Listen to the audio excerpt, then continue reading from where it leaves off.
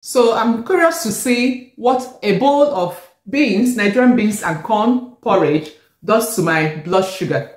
A bowl of beans porridge contains about 250 calories.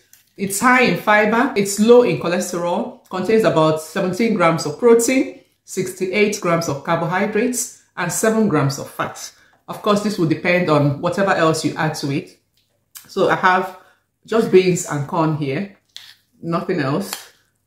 So, but some people do add plantain and chicken and so on to the meal. So that will affect the amount of calorie in it. So see what that does.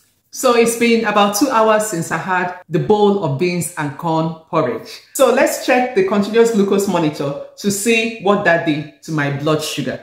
As a reminder, let's just go back and look at jollof rice and see the rise of blood sugar when we had a similar bowl. The blood sugar for jollof rice rose by 9.6 millimoles per liter. So that was a huge rise from the rice. So let's see what has happened with the beans. So this time around, there was a rise of 4.2 millimoles per liter or 75.6 milligrams per DL.